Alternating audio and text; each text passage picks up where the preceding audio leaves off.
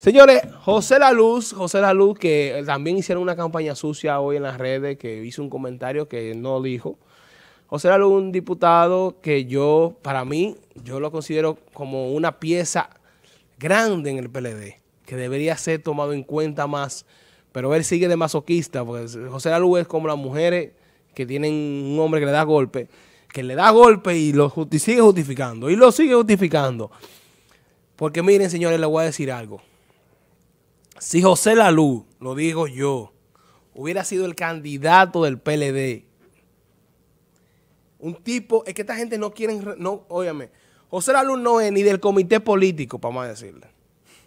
Porque en, en, el grupo de PLD todo tiene que ser lo viejo, lo viejo, lo viejo, lo viejo. Por eso pidieron. Todos tienen que ser lo viejo, la gente. Bueno, él lo dijo esta mañana. José Lalu es un tipo brillante que, debería tener participación, protagonismo ahí en, el PLD. Y no lo han hecho. No hicieron lo que el PRM hace, pone a Paliza, pone a Faride, ¿eh? a Luis, gente que era nueva generación. No, la misma generación, vieja, vieja. Yo espero que el PLD analice eso y que tome en cuenta ese muchacho que está ahí. Ese es el muchacho que por ahora, porque todavía no, tú no has visto otro joven. José Lalu es el único. Por más que tú estés de desacuerdo, pero el único joven que el PLD tiene que tomar para reaccionar es José La Luz. Pero lamentablemente a él no. No, no, no. Hablando de juventud, no, ¿y el boli pasó? Sí, ganó. ¿Cómo? El boli ganó.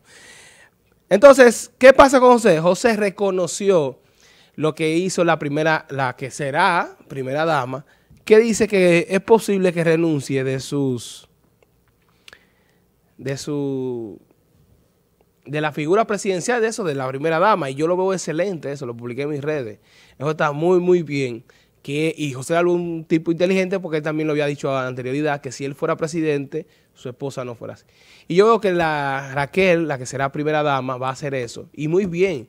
Porque lo que pasó con la primera dama, lo voy a decir claro, quíllense quien se quille, a mí no me vengan con esa cosa, de que no, porque estamos ayudando a los pobres. Que eso era un despacho que le hicieron, eso era un símbolo primero. O sea, la esposa de Hipólito fue un símbolo, la de Lionel, yo no sé si Lionel tenía esposa en ese tiempo, no, Lionel no, no tenía, Balaguer nunca se le conoció una esposa, pero cuando llegó Lionel, que estaba Margarita, se le creó un símbolo, después del, de lo que era el símbolo de la primera dama, se creó lo que era un despacho para resolver problemas, para ganar el voto de esa persona y promover esa persona que se creyó la Coca-Cola de desierto y pidió.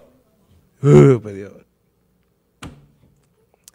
la popularidad de esa persona, de la señorita, la señora Margarita Cedeño de Fernández, creció porque estaba en, tenía un despacho para ella. Eso fue creado para eso, para ayudar y promoverla a ella como futura candidata, que yo no sé ya cómo va a ser candidata, porque ¿ustedes quieren ver cómo la popularidad de Margarita va a bajar?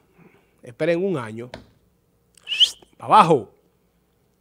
¿Por qué? Porque ni, el, ni la gente de Leonel la van a apoyar y la gente de Danilo no está en ella. No, es que no tienen dinero para eso. ¿Mm? No están en el poder para eso. Bye. Yo soy tú y en vez de estar hablando de Chayán, me voy a hablar de, Luis, de, de Lionel. Pero eso de, la primaria dama, eso era para eso, para promover una, una promoverse ahí. Más, gastar dinero ahí, un regalo de dinero que usted lo ve. Si usted quiere ayudar, mándalo para, salud. Usted quiere ayudar con beca, mándalo para educación. Pues beca universitaria de, grado, eh, de posgrado y que eso. Vaya para la educación superior. Porque aquí queremos sacarle todo de independencia y todo un presupuesto. Presupuesto para esto, presupuesto para esto, para esto.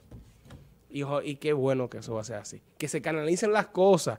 Se puede canalizar, como ya dijo, pues pueden canalizar. Entonces, se canaliza eso y eso lo aplaudió un peleadita como Celado. Y yo eso, yo también lo veo bien.